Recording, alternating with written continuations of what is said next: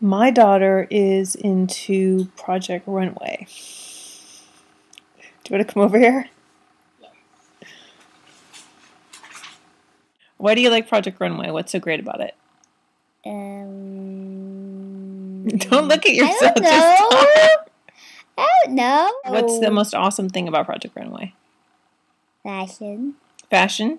hmm Who's your favorite designer on Project Runway? Uh, remember the names, but it was the one that lost.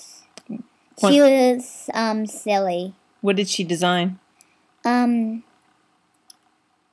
I don't remember what she did, but um,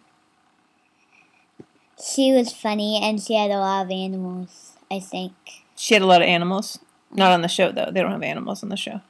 I know. I think that's. What did she design that you liked? Hmm, I don't remember the design. The dress? Um, I think she designed one dress, a dress. Okay. What what's your who's your favorite Project Runway judge?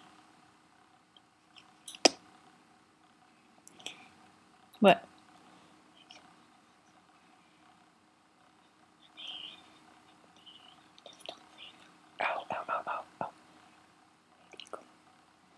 Heidi.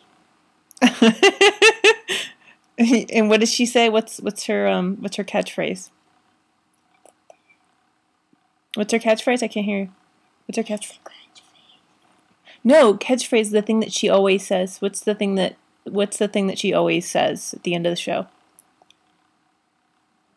Um, she um picks the winner and the loser. There are only two when she picks the winner. And The. Okay. Mm-hmm. and what does she say? What does she say? What is she, what is Okay, fingers out please. Mina, fingers out. Okay, so what is, what does she say though? What's her thing that she always says? At the end, when she's picking the one that loses, she says, "One of you will be in, and one of you will be out." Okay. And then what does she say to the the person that loses? She says their name, and then she says that they're out. And then she hugs them and what does she say? Um, She says What? a funny word. She says a funny word. Do you know what the word is? Alvidazane? Can you say that?